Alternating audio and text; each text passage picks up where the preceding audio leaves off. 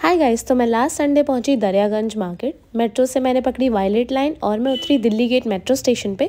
वहाँ से 200 metre walk करने के बाद मैं आ गई Mahila Haat market and this is the heaven for all book lovers out there यहाँ आपको नॉवल्स की भरमार मिलेगी काफ़ी चीप प्राइसेस पे और मैंने भी काफ़ी सस्ते नॉवल्स ले लिए।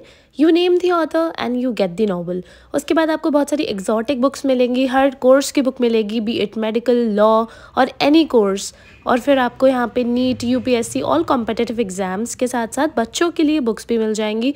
फिर मैं आई इस स्टॉल पे जो काफ़ी सस्ता स्टेशनरी बेच रहे थे at around twenty percent off तो मैंने यहाँ से भी कुछ सामान ले लिया। फिर ये था मिनीसो जैसा एस्थेटिक सामान, जो थोड़ा सा महँगा था बट बाज़ार से कंपेरेटिवली काफ़ी सस्ता था। फिर ये पूरी एक क्लासिक्स की स्टॉल थी तो मैंने सोचा इसे रिकॉर्ड कर लूँ।